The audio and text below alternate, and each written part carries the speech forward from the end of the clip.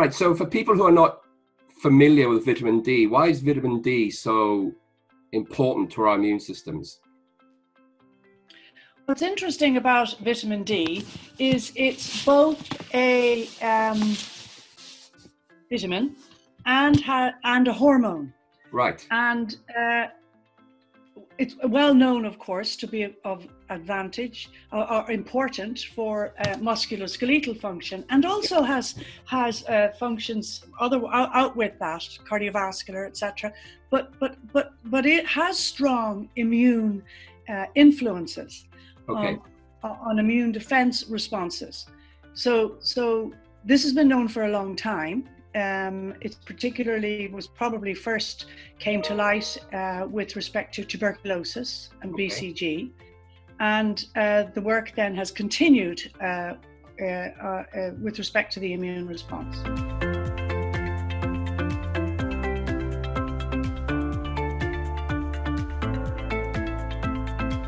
So why why are why are we all lacking in this uh, in this vitamin? It seems, you know, people rightly or wrongly thought that getting some sunshine would, would help and would help the synthesis. So why are we seeing these big disparities in, in the levels across Europe?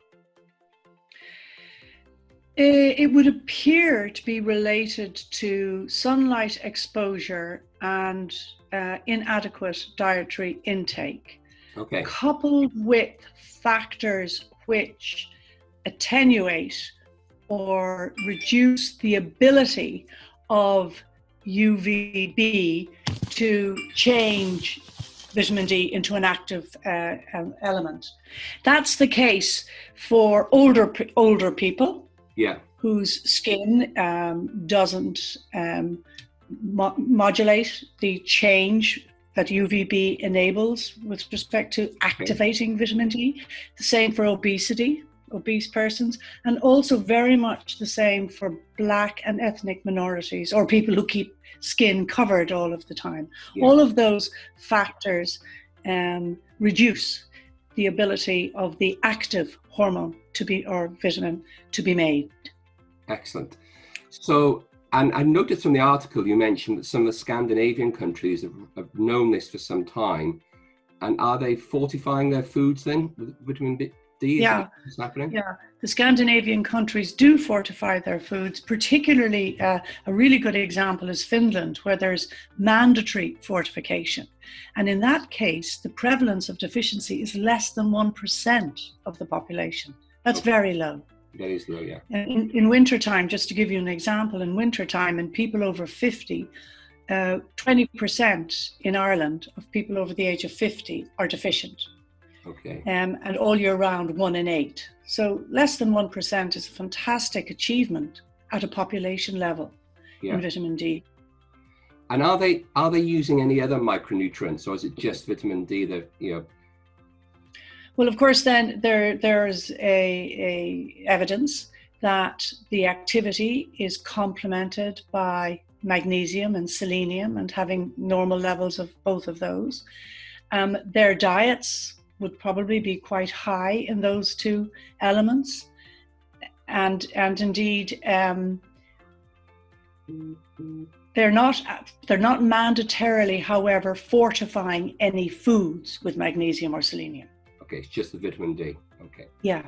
All right. And so I noticed that one of the um, NHS trusts in the UK has um, the, the, the medical directors at the hospital um, have suggested that the staff take vitamin D supplements. I, I already noticed that yesterday when I was doing some prep for, for this interview, which is quite interesting. And, uh, you know, are you suggesting that, you know, the, the governments in across Europe now should be taking the same stance? So um, I, I know Public Health England and Scotland and Wales and Northern Ireland, etc., etc., have changed their recommendations. They have not changed their recommendations, at least in the recommendations, to say that they're recommending supplementation all year round, or particularly for people who are um, what we call cocooning, Yeah. uh, because of the immune effects of vitamin D, but rather the other effects and staying indoors, staying at home, etc., would make it more likely to have vitamin D deficiency. They're the reasons given. Um, except for Wales, and Wales have noted that vitamin D has there's evidence, circumstantial evidence for a benefit in immune response, and therefore that contributes to their recommendation. Out, out with that, um, uh, the recommendations are pretty uh, conservative.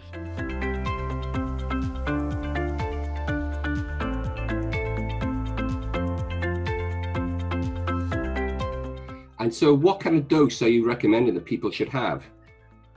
Well, well, I just want to kind of maybe go back to to the evidence in terms of COVID, if I could. Okay. Yeah, of course. Um, yeah. So, so, so vitamin vitamin D, and I was misquoted in one of these, so I want to kind of put the record right. Okay, great. The, the ACE2, which which is a a an enzyme which which we know enables the um, activity of SARS at the lung epithelial cells. Yeah. That that is actually um, modified. Uh, its expression is is attenuated or modified or reduced through by vitamin D. And if you're low in vitamin D, then the that that expression of ACE2 changes and may make it may make it more feasible for the virus to enter lung cells.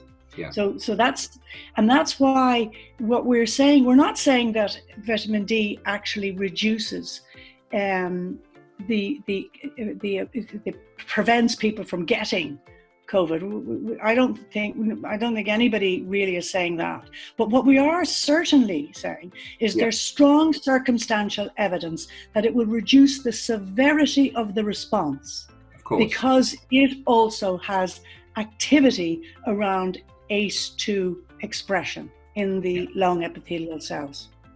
Oh, that, that, that makes a lot of sense. Yeah. Okay, so let's go back to supplementation. And are we saying, you know, uh, are we are we going to be asking the the relevant authorities so recommending so it? so most of the recommendations so supplementation is really important and most of the recommendations are relevant are, are have used evidence for benefits known benefits from intervention studies on on the musculoskeletal system yeah probably for the immune system. And again robust randomized controlled trials are are, are not available to categorically state this, but probably for the immune system, we need more vitamin D than recommended on a routine basis for musculoskeletal. So for musculoskeletal, 400 international units, which is 10 micrograms is what's recommended. And we're, we're, we're, we're saying probably to keep, to get levels above 50, which is the, the serum level that's optimum for, for the immune response, you need at least double that. So 800 to 1,000 international units, around 20, anything from 25 to 50 uh, micrograms of vitamin okay. D. Excellent, excellent.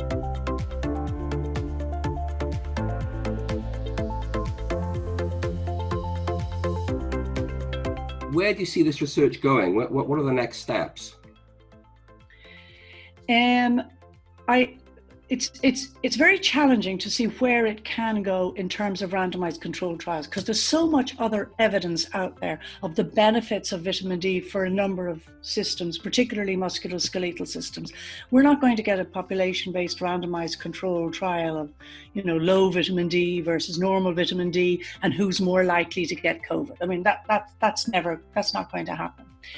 And there, there probably will be, it's possible to do randomized control trials in the acute setting and give high dose vitamin D and see if the responsiveness is better. However, um, uh, some in ITUs are actually using intravenous vitamin D now, should they find vitamin D to be low. And, you know, again, I, I, know there are randomized control trials ongoing in Spain and France looking at intervention with vitamin D in the acute setting. So that might be where our next trials will will will will, will give us some um, information with respect to this. Okay, fantastic.